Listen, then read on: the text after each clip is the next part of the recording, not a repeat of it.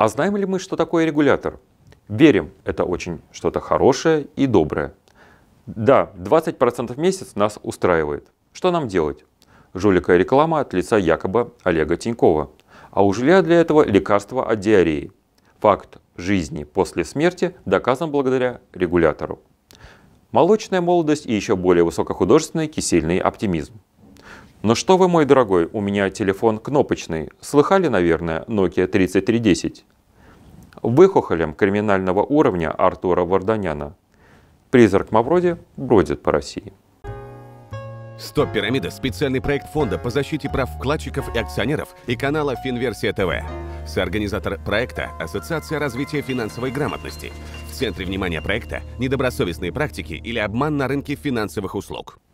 Всем здравия! Добро пожаловать на Стоп Пирамиду, канал по повышению личной финансовой безопасности. Предупрежден, вооружен. Поехали! Регулятор – самое популярное слово в репертуаре современного мошенника. У жилья это как лекарство от диареи. Сие снадобье по замыслу аферистов должно снять все душевные спазмы, развеять острую боль и укрепить твердую веру еще не пострадавшего инвестора. У нас лицензия регулятора. Регулятор разрешил. Мы работаем по заданию регулятора. Эти волшебные слова, как мантра, благотворно действуют на умонастроение человека без пяти минут жертвы. Если уж сам регулятор одобрил, то какие тут могут быть сомнения? Знаем ли мы, что такое регулятор? Как правило, плохо. Но поскольку говорим с аферистом на доверии, то верим, что что-то доброе и хорошее. Теоретически мы можем проверить все сказанное в интернете, посоветоваться знакомыми. Но главное не оказаться финансово безграмотными. А самое важное, мы с вами ментально заинтересованы в позитивном результате. В самых редких случаях в финале разговора пытаем жилье. А что это за регулятор? Прохвосты, не стесняясь громких имен, могут прислать фейковую лицензию Центробанка. Или, как мы уже рассказывали нашим зрителям, в выпуске «Стоп пирамида 48», как мошенники для обмана используют сайт Центробанка. Ссылка в описании. Рассказывают сказку про код LEI, который, конечно, у мошеннической фирмы нет, но он есть у компании, похожей по названию. При этом код LEI не имеет никакого отношения к розничному финансовому рынку. Но зато какие шедевральные умозаключения и игра жуликоватого разума. Другая любимая история у мошенников – выдавать за лицензию обыкновенное свидетельство о регистрации компании Великобритании. Стремление к прекрасному тут играет на руку криминальным живописцам. Королевский герб со львом, единорогом и короной на полстраницы украшает свидетельство любого ларька – зарегистрировано в Туманном Альбионе. Если не знаешь английского языка и хочешь поверить в сказку, подобная картинка вполне годится для самогипноза. Совсем не все мошенники платят хотя бы пени за британских львов. Сегодня это под силу только выхухолем криминального уровня Артура Варданяна или Романа Василенко. В большинстве же случаев нам подсовывают документы реальных мелких английских фирм без интернет-ресурсов. Хозяин магазина в сельском Деваншире и не подозревает, что под его брендом щеголяют мошеннические русскоязычные денди, как минимум биржевые аксакалы или максимум воротилы с Уолл-стрита. Правда, ворочают они ярды якобы в башне Федерация на Краснопресненской набережной в Москве. Эти тухлые легенды работают, к сожалению, до сих пор. Призраки Мавроди ходят по России. И есть свежие легенды про мегарегуляторов. Давеча мы столкнулись с очередной жуликой-рекламой от лица якобы Олега Тинькова. Зарегистрировались на сайте и через пару часиков звонок. Молодой оптимистичный голос радостно сообщил, вы интересовались инвестициями? Да. Наша компания Royal Impress 100 лет на рынке, и мы готовы вам подсказать, когда какой актив покупать, а когда продавать. У нас нет гарантии по доходу, но уж 20-30% в месяц точно заработаете. Это вам подходит? Бренд Royal Impress уже не в первый раз попадает в фокус нашего внимания. Он уже есть в черном списке Центробанка. А это значит, что аферисты создали новый сайт. Хорошо бы уточнить его адрес. Чудненько. На 20% в месяц мы согласны. Что нам надо делать? Скоро вам перезвонит ваш персональный аналитик, который все объяснит. И действительно, через 5 минут звонок. Опытный аналитик Евгений Швец у аппарата. Опять молочная молодость и еще более высокохудожественный кисельный оптимизм. Так давно мы уже не встречали юношеский оптимизм даже на крипторынке. «Газпром» будет падать, а это прекрасно. Мы заработаем на его падении, приобретаем большой пакет монополиста и прокатимся с ним наверх. Обещалось чудесное превращение из миноритария в мажоритарий.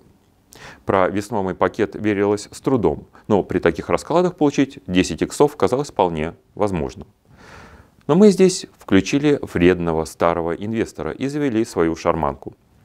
Я старый человек. Покажите, милок, нам ваш сайт и лицензию. Пожалуйста, куда вам прислать адрес на WhatsApp?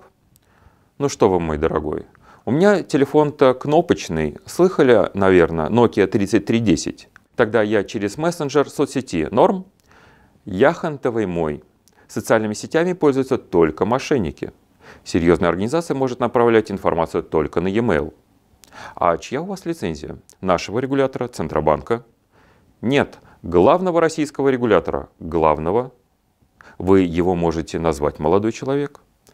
На конце провода легкое замешательство. Я вам сейчас посылаю ссылочку на сайт, внизу найдете ссылочку на регулятор. Через пару минут мы действительно оказываемся на новом сайте Royal Impressa. И становится понятным, почему товарищ швец не озвучил название регулятора. ЦРО ФР. Произнести это без запинки может только человек, памятник из финансово-бюрократической сферы. Евгений Швец явно под такие характеристики не подходил. Не факт, что он когда-то вообще бывал на территории нашего государства. Вместе с тем российским регулятором ЦРО ФР на сайте был обозначен еще и иностранный регулятор с чудо-названием IFM-RRC. Но об этом чуть позже. ЦРО ФР – Центр регулирования отношений на финансовом рынке. Эта организация была прекрасно известна людям, которые интересовались черным рынком Форекс в 2011-2016 годах до формирования законодательства на этом сегменте финансового рынка. Тогда российский Форекс представлял собой особый суп из черных и серых остротоксичных ингредиентов. Откровенно криминальные структуры конкурировали с такими же полулегальными субстанциями из дальних заморских юрисдикций. Инвесторы, точнее частные трейдеры, в любом случае проигрывали – Полулегальные форекс-компании пытались себя отделить от откровенно криминальных структур с помощью создания легальных профобъединений. ЦРО, ФР, ЦЕРФИН, Кроуфер, Рауфер. Впрочем, разница бандита от пирата – тонкая материя. Поэтому криминальные форекс-компании легко проникали в профобъединения. Такие проникновения в ноль девальвировали ценность самих объединений для частных трейдеров.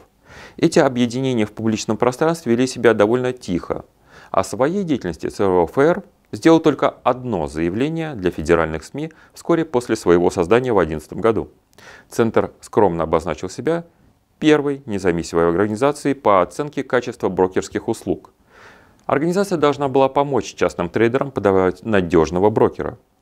В тот далекий год специалист Комитета по стандартизации и сертифицированию ЦРОФР Ирина Антонова отмечала – ЦОФР оберегает трейдеров от ошибочного выбора, ведь основная задача организации – обеспечить максимальную безопасность сделок на фондовом и валютном рынках.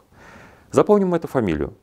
Кроме того, ЦРОФР был создан компенсационный фонд для выплат компенсации пострадавшим от брокеров членов ЦОФР.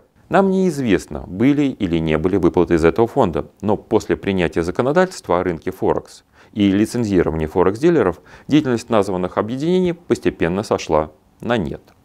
Самое интересное, что в Едином государственном реестре юридических лиц вы сегодня не найдете ни одного упоминания о ЦРОФР, как о действующей или как о ликвидированной компании.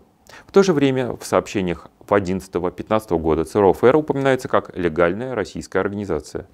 Мистика. Давайте посмотрим на сертификат соответствия требованиям ЦОФР, который компания Royal Impress представляет в качестве своей лицензии. Господа, не будем церберами. В свидетельстве немного иное название компании не Royal Impress, а Impress Royalty Ltd, зарегистрированы на Маршалловых островах с офисами в Эмиратах, Кипре и Санкт-Петербурге. Искать логику в названиях и нарисованной географии в ситуации, когда финансовым корсарам чуть ли не каждый месяц приходится менять не только сайт, но и название, не имеет никакого смысла. Нас особо интересует в свидетельстве печать регулятора – на ней четко прописано некоммерческое партнерство, Центр регулирования отношений на финансовых рынках, а также указан ОГРН. 3 единицы, 2 семерки, 2 девятки, 01, 03, 94. Этот ОГРН принадлежит Ассоциации специалистов в сфере менеджмента «Карьерный мост». Эта организация действительно была создана в 2011 году, а в феврале 2019 ликвидирована. В выписке Единого государственного реестра юридических лиц указано про ряд изменений в уставе и учредительных документах в 2015 году, в том числе смена названия. Но почему-то прежнее название не указано. Еще в 2017 году в отношении карьерного моста судебные приставы закрыли исполнительное производство по причине невозможности установить местонахождение должника, его имущество, либо получить сведения о наличии принадлежащих ему денежных средств и иных ценностях, находящихся на счетах, во вкладах или на хранение в банках или иных кредитных организациях. При этом, судя по сайту ЦРО ФР, продолжает свою деятельность регулятора и осенью 2022 года. Факт жизни после смерти доказан благодаря ЦРО ФР. Получается, история бренда ЦРО ФР завершилась в 15 Физическое существование в 19 но в 22 году ЦРОФР, как ничто не бывало, продолжает выдавать сертификаты соответствия. А теперь посмотрим на фамилию руководителя органа сертификации, та самая Ирина Антонова. Кстати, в выписках Единого государственного реестра юридических лиц она ни разу не упоминается в качестве руководителя или учредителя организации. Кому воскресший ЦРОФР выдает свидетельство? Давайте посмотрим на сайте Именно здесь мы можем найти последние решения Комитета стандартизации и сертификации Центра. Успешно прошли сертификацию следующие компании Paratrade, Start Capital, Gamble Limited, X-Broker, Capitality FS International, N-Markets Limited, Pisa It Solution – ПО, Trade и другие. Ни одна из этих компаний не зарегистрирована в России. Ни у одной нет лицензии Банка России на ведение финансовой деятельности. Однако каждая третья входит в List Банка России. Медитируем, что черный список Банка России будет пополняться из числа этих сертифицированных компаний ЦРО ФР. Впрочем, возможно, что не все компании, сертифицированные ФР, намерены трудиться в России. Мы упоминали о том, что Royal Impress имеет сертификат не только российского, но и иностранного регулятора, а именно International Financial Market Relations Regulation Center. Нам не удалось найти на сайте этой замечательной организации информацию о ее статусе и географической привязке. Впрочем, этого особенно и не требуется. Посмотрите на сайт, он практически идентичен сайту ЦРО ФР, но только сделан на английском языке. Та же самая история со свидетельствами, которые подписывает товарищ Ай Антонова. Свидетельства выдаются тем же самым компаниям. Наивный вопрос. А почему же не сделать просто двуязычный сайт?